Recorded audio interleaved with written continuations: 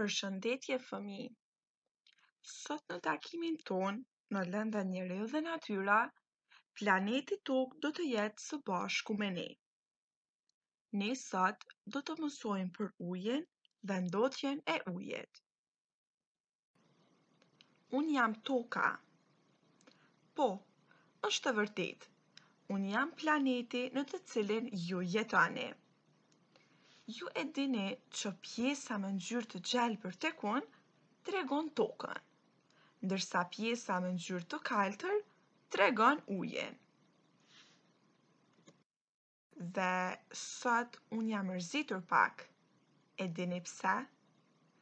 Unë mbrëm pashë një ëndërr që uji është ndotur shumë.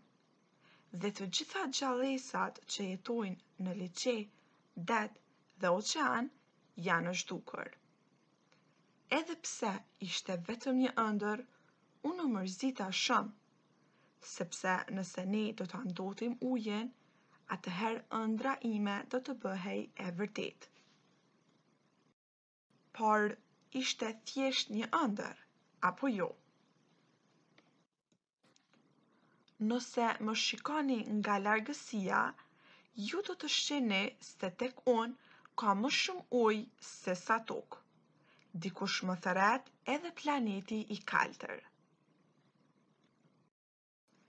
Të gjithë e dinë se pa ujë nuk mund të jetojmë dhe se pa ujë nuk do të kishte as bimë, as kafshë, por as njerëz.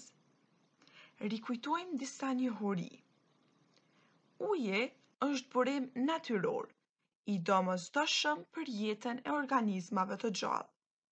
Ai e mbulon pjesën më të madhe të tokës.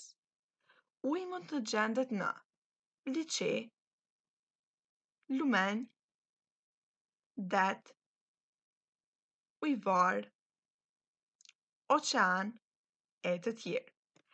Deti dhe oqeani kanë ujë të kripur, ndërsa lumenjtë dhe liqenet kanë ujë të pakripur. Njerëzit e përdorin ujin për gjëra të ndryshme, si për të pastruar frutat dhe perimet, për të pastruar makinën, për të pastruar duart, për të pastruar kafshët e ndryshme, për të ujitur bimët, për të pastruar rrobat, Dhe njëjtë sikurse edhe njerëzit, edhe kafshët e përdorin ujin për pije. Njerëzit për pije e përdorin ujin jo të kripur. Ujin e përdorim edhe për të përgatitur ushqime. Ndotja e ujit Kur ndotet uji?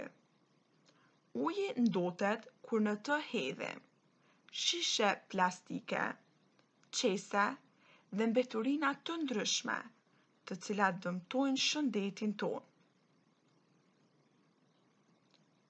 Ujin e ndotim kur në të derdhim ujëra të zeza. Mbeturinat e ndryshme e ndotin ujin. Hedhja e vajit në ujë e ndot atë. Uji i ndotur mund të sëmurë gjallesat e ndryshme. Shikojmë me vëmendje të dy anët e fotografisë.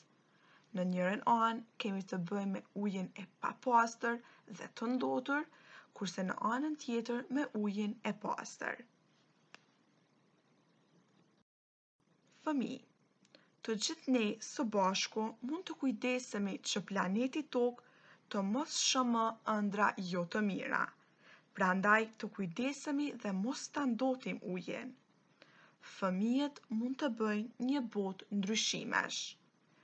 Unë dhe planeti Tokë ju falënderojmë për vëmendjen.